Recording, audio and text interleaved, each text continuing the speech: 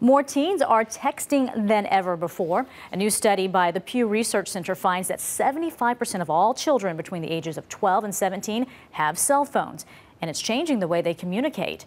CBS News correspondent Whit Johnson has more.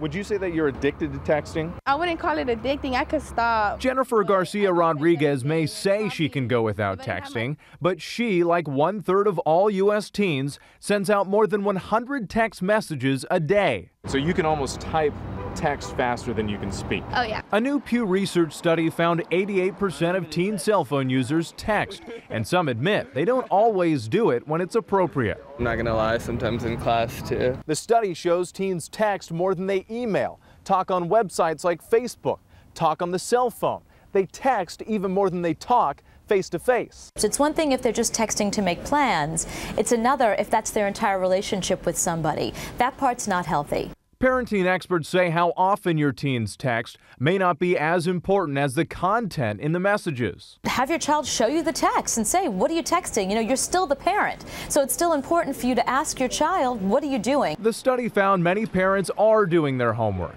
64% monitor the contents of their teen's cell phone. But mothers like Terry Singalis find it tough to keep up.